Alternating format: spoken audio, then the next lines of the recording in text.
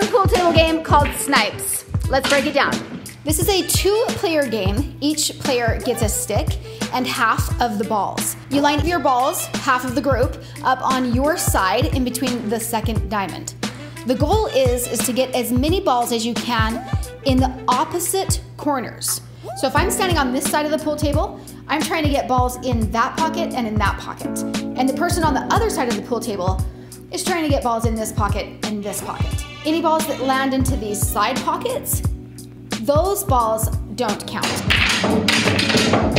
The hit only counts if you hit it with the very end of your tip and not the side. It has to be like this, Okay. not like this. Okay. Makes sense?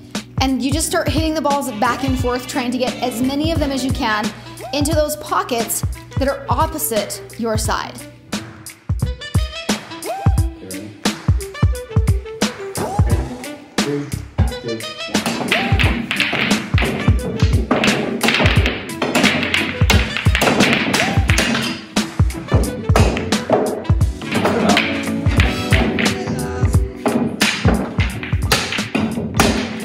Oh, and you can block the shot as it's coming to your side, or if it's gonna go in a pocket, you can totally block it.